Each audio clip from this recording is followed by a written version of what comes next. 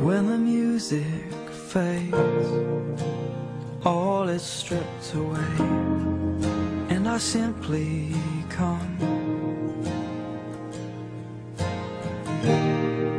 Longing just to bring something that's of worth that will bless your heart. I'll bring Today, we thank God that He has opened the door for us to uh, start our three days financial breakthrough summit, financial empowerment for greater heights. Today, we want to start by considering uh, breaking financial barriers, and we want to look at poverty mentality. We want to look at uh, the book of Genesis, Genesis chapter 2, the verse 8 where God originally planted man uh, in the in the garden of many uh, riches. So man was created and placed in the garden of affluence and abundance. of darkness that are available for you and I to possess. And it comes by revelation that each and every one has to what? Be mindful of it. Now, when God created man, we realize that he created man and put man in a garden of what? Affluence. God knew what he wanted to do. He wouldn't allow anybody to be created without a supply. So he created Adam after he has created everything and put Adam in the garden of the blessing of the Lord. Adam was surrounded with what? Abundance. That wasn't created by his own ability. Supernaturally, those things were in place. So he came and inherited what? Wealth. Can I hear a bigger amen? He came and everything was in place. Ladies and gentlemen, I'm here to assure you that God knows you're coming on this earth and He has put everything in place for you. It's about time you need to tap into them. God is not ignorant of your today. He's not ignorant of your past. Neither will he be ignorant of your future.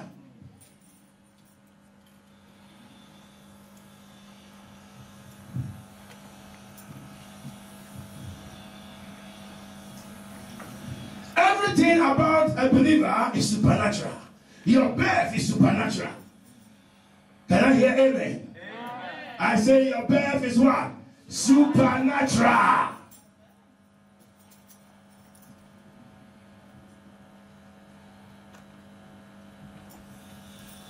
How can your birth be supernatural and there will not be a supernatural supply for you? How can it be? Your birth is supernatural. That means you are born to attract supernatural supply.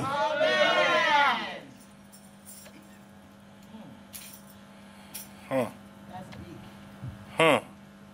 You see, the enemy is very smart. He wants you to believe in your strength and the little you can achieve. So that what God meant to do with you cannot materialize. But the devil is a liar. That's why God has created a season like this. A season for you to break through. There is a need to break through. Hmm. Anytime you see a breakthrough, that means there have been a hindrance. Hmm. Hallelujah. What is rightfully yours has been hindered. And it's about time that they have to let you go. I said they have to let you go. The enemy entered into the garden of the blessing of the Lord. As if he was there to offer something to Adam, but he was there to take something and give him something. Anytime you enemy steals something, he gives you something. If he steals your faith, he gives you unbelief. Ah. If he steals your health, he gives you sickness. Ah. He will never come to you and take something without giving you anything in replacement. So the enemy entered into the garden. And ladies and gentlemen, as if it was a joke, as if it was a friendship. It wasn't a friendship. It was all about destiny being diverted. Now, all what God has planned, the enemy came to cancel it. So he gave man what God has not given him. He made man to believe that there's nothing supernatural. Ladies and gentlemen, I don't want to take too much time. I don't want to take too much, but I want you to know that there is financial provision for you. I don't know whether you believe it because until you believe it, you can't access it. Amen. A lady was looking for a job. And she's been looking for a job so many months. No job. I said, hey, there's something for you. Amen. Something for you. Supernatural. Amen. Keep applying. She applied until she got tired. I said, still God has something for you. Hallelujah. Praise the name of Jesus. When you lose track of the supernatural source, you begin to believe a lie. No amount of strength. For the Bible said, by strength shall no man do what? Prevail. That's why you're praying for supernatural. Yesterday, a call came that this sister has to get a job that she didn't apply for. I didn't hear you because it's not you. And ah, that's why. Because if it's you, you say amen. She got a job without. Uh,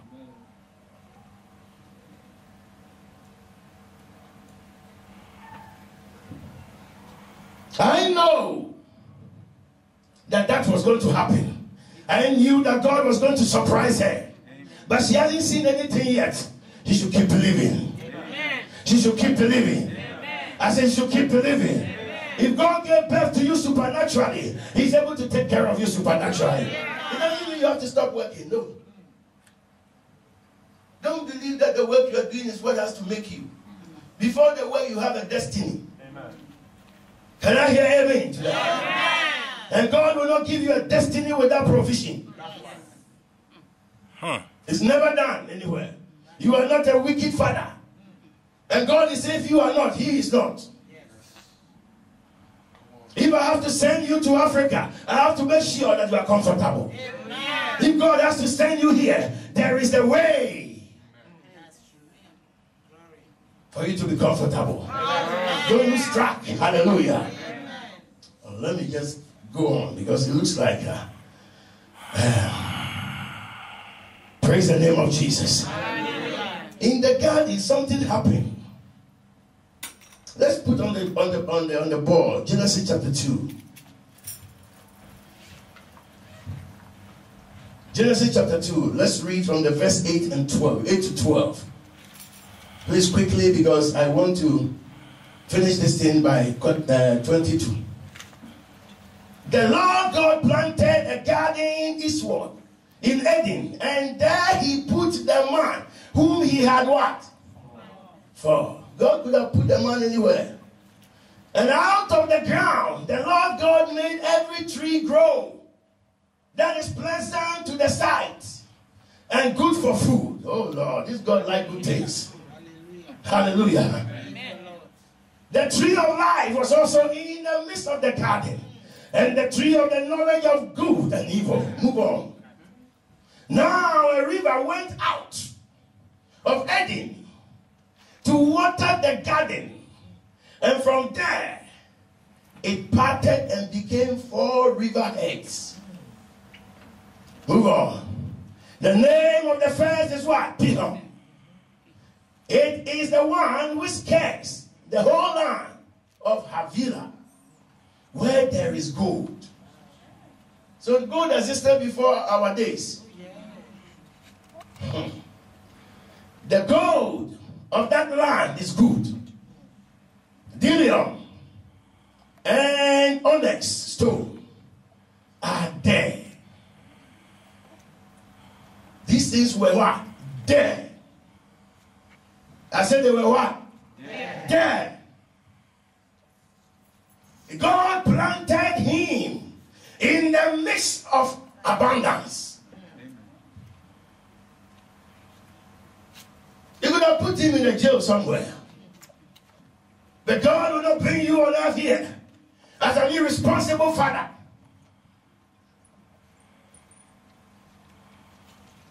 Huh. Do you know what happened?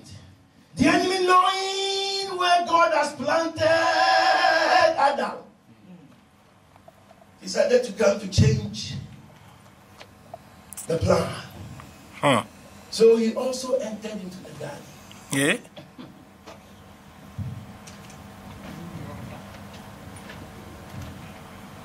That's why the Bible said the devil comes not. Anytime he comes, he comes to steal, to kill, and to destroy. Jesus said, But I have also what?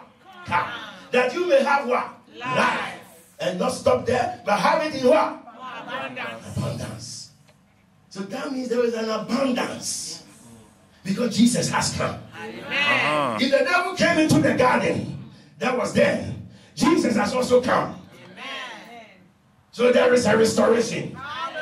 I said there is a restoration. I said there is a restoration. I said there is a restoration. Ladies and gentlemen, God provided for everything He created. He provided for everything He created. I said He did what? He provided for everything He created. So if God created you,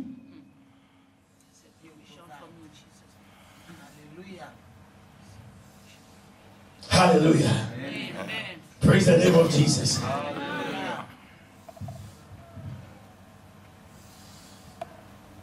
Let's move on.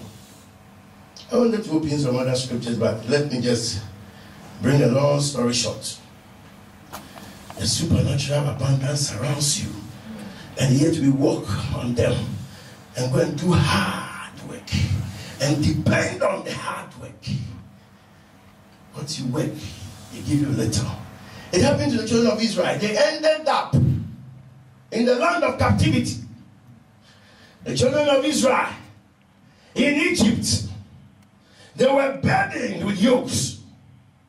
But, ladies and gentlemen, God is a God who can put your years of labor together and lavish it on you. Amen. That's the God you serve. That's the God you serve. Man was created and placed in a very rich estate to govern it. You see, it wasn't it wasn't that God placed, him there, but he gave him an order to govern riches. Hallelujah. Hey, my God. Amen. My God, you are not here.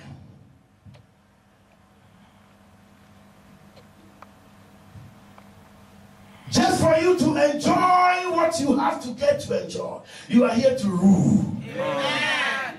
God said, Yes, I'll place you in the garden of affluence. I've surrounded you with abundance. But I am here to assign you to rule. Uh, Hey, this is seriously. So it- it's like you have entered into money, and now you are to rule with the money. Help us that we will change our mindset. It's about time you need to change your thinking of me, myself, and my family. God is depending on you in order to what? Take the world into the kingdom. Hallelujah. That's why God planted him in that garden. So you are descendants of a man that's supposed to rule. But the enemy came in and stole the power to rule. So man started thinking negative. You know what? What happened in the garden? Man was deceived in the garden. And it is the same plan. The enemy is not using any other plan to deceive you for you to depend on your strength because you have health. It's good to have health, it's good to have strength. It's good to work so hard more than everybody, but don't depend on that hard work.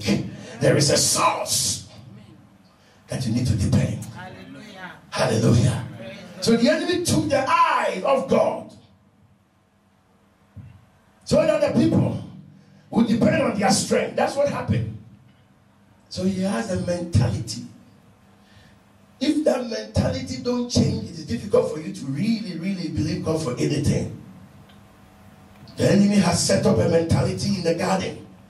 So the moment they lost track, they went hiding. And do you know what they took? Oh my God. I want to read the scripture to you. I want to read the scripture to you.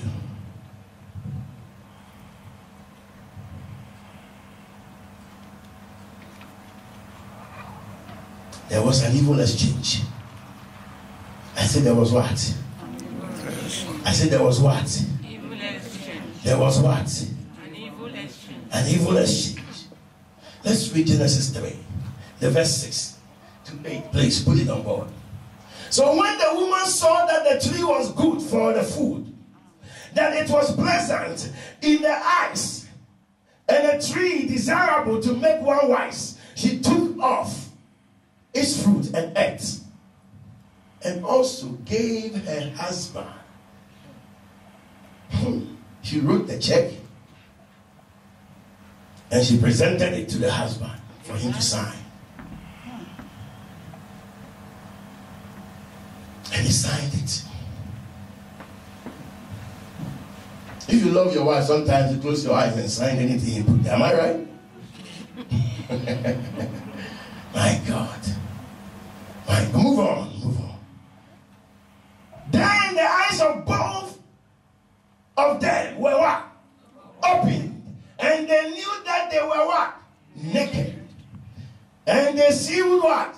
Fig leaves together and made themselves covering.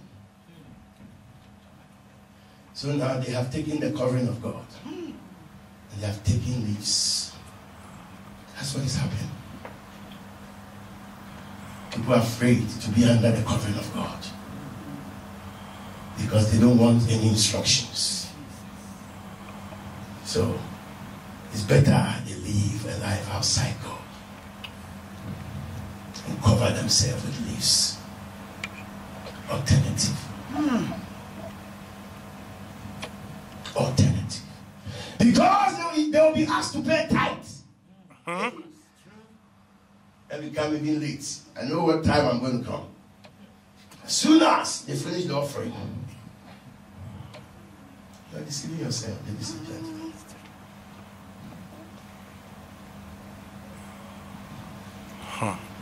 I want to close. I said eight. When it's hit, hit, I'm off. Let me show you something.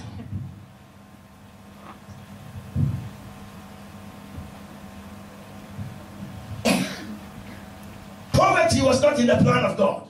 But the people developed poverty mentality in the garden as soon as they were able to dialogue with the enemy. What is leaves? That you have to leave the covering of God to go and take leave and cover. Poverty mentality. When the enemy is able to plant poverty mentality in you, he finishes you.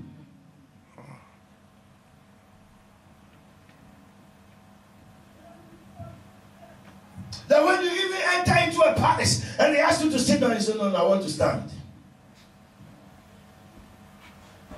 Because everybody should see you humble. Ladies and gentlemen, to be poor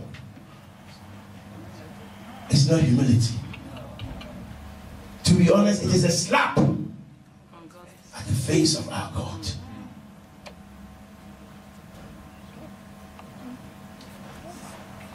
Poverty mentality needs to be broken. I say it needs to be broken. I say it needs to be broken. It needs to be broken. That's some people when they come to your house, you have abundance, you give them. So I'm rich food, so oh, I don't need, I don't eat this. Ha!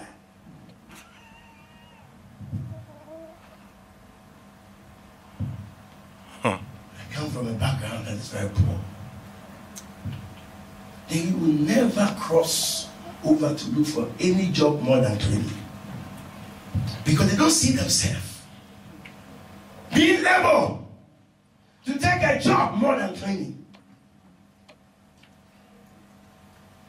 This season is your season. I said, This season is your season. I said, This season is your season. If you are going to flow with God, the job you don't qualify, He'll give it to you. And they'll train you on the spot. They'll give you a chance for you to be trained because they want the character, the you, not the skills. They can give you the skills.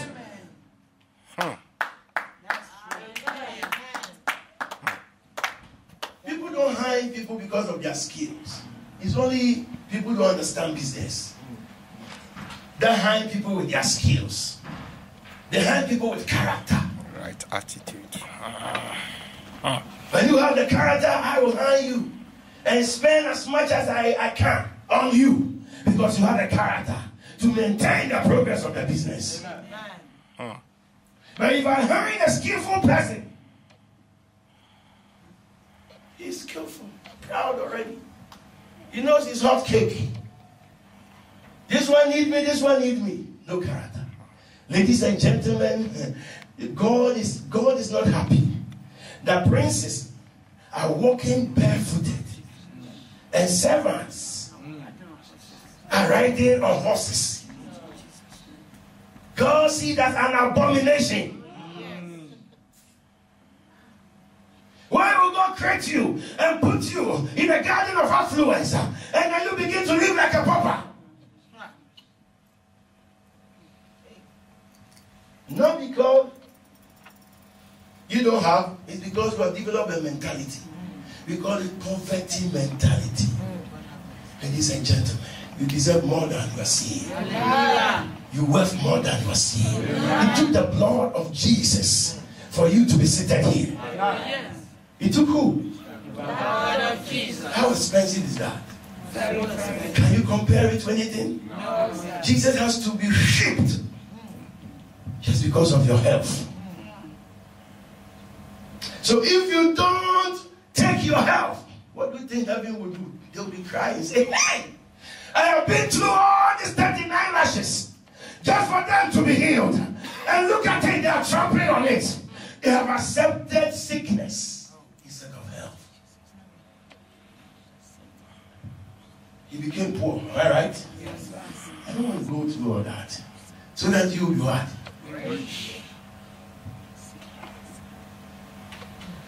So you do not have to accept live far below your level of authority. Christ has redeemed us from the cares of the law, having become a curse for us. For lo, behold, curse is anyone that is hanged on the tree. So that the blessing of Abraham, the blessing of who? The blessing of who? The blessing of who? May come to the Gentiles through who? Christ Jesus. Hey. Christ has redeemed us. You are the redeemed of the Lord. And because you are redeemed, you are entitled to where God placed Adam originally. Amen. You are entitled to prominence. Amen. Today I came to destroy poverty mentality. Oh, All this month I've been praying that Lord, if my people will have the mentality that you have originally ordained for us, that through Christ Jesus you have restored that mentality. If my people will rise up and possess that mentality, my God, we are going to see the gospel move into places. We are going to see champions. Hallelujah. Hallelujah. God says, son, 2,000 years ago, I broke that mentality. Hallelujah.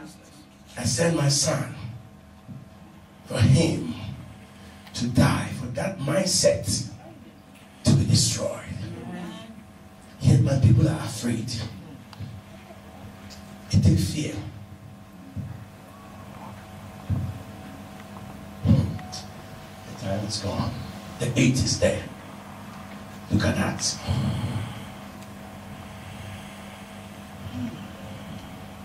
I came to prepare the way. I said, I came to do what? Prepare the way. Hmm. I want you to write the scripture then when you go home, you look at it. My God. God transferred the wealth of the Egyptians to the children of Israel through divine favor. He transferred it all. He, he was seeing everything. He said, I have seen the affliction of my people. God is seeing everything you are going through. I have seen it. The affliction of my people. Exodus chapter 12. I'm closing with that. Put it on board. Write that scripture down. When you go, I want you to check it. Exodus 12 36. My God. My God. My God. And the Lord had given the people favor in the sight of the Egyptians so that they granted them what they requested. Amen. I don't like this translation. Yeah. He said, Thus they plundered the Egyptians. Give me another translation. They stripped the Egyptians of their wealth. Oh, let's give God a big clap of. See, This is not for God. Oh. The God is about to strip. My God, my God. What did he do? The Egyptians took favorably what? The Lord caused the Egyptians to look favorably on the Israelites. From today, that is your portion. I say that is your portion. God is going to cause men to look at you favorably. Men will favor you. They will be under divine authority to favor you. They'll tell you, I don't know why I'm blessing you. Have you received that kind of blessing before? Oh, yes. That people don't know why they are favoring you.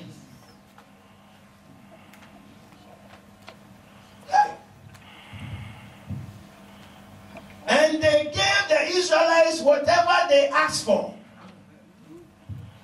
Today, the anointing to get whatever you ask for has come on you. I release that anointing on you. You cannot be denied. You have a dear destiny. Whatever you ask for, you get it. I say you will get it. I say you get it.